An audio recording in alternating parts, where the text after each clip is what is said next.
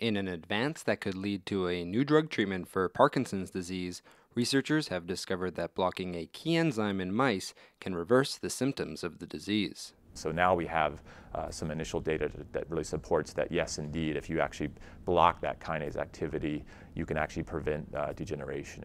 Reporting in the journal Nature Medicine, a team from Johns Hopkins University found that blocking part of the LRRK2 protein, which encodes an enzyme called a kinase, prevented the loss of neurons in the brains of the mice. A kinase, an enzyme, to inhibit an enzyme, that's what pharmaceutical industries really, really love.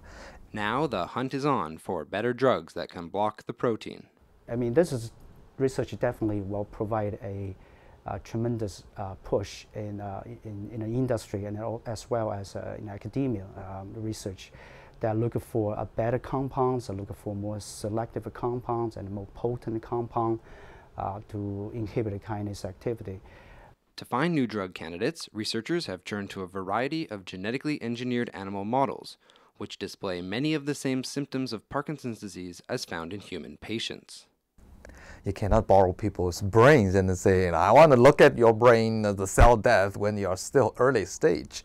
Uh, you have to have animal models so that you can study the pathogenic pathways. You can test genetically what are the modifiers and uh, you can look at those different cellular dysfunctions. And then finally, you can use animal models for testing drugs. Dr. Lee, for instance, has been developing a transgenic mouse with the LRRK2 mutation. To reveal the age-dependent loss of mobility in the animals, he runs the mice through something called an open field test. You pretty much put an animal in a box, open box, and then by their nature, they need to explore. So normal ones will go around, and uh, the LRRK2 mice, they could not move, and so they stay in one place. Dr. Lee is also working on rat and primate models of LRRK2, but others have turned to a simpler organism, namely the fruit fly.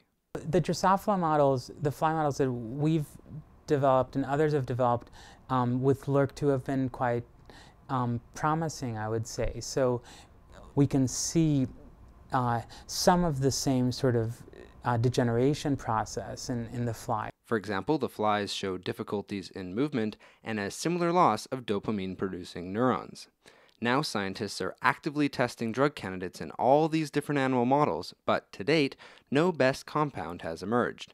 So Dr. Yu is screening thousands of chemicals with high-throughput robotic machines.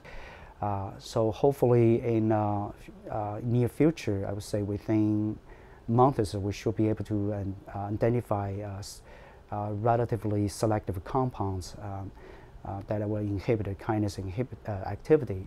Because LRRK2 mutations are found in around 2% of people with Parkinson's, the goal is to find a drug that can prevent neuronal death before it happens.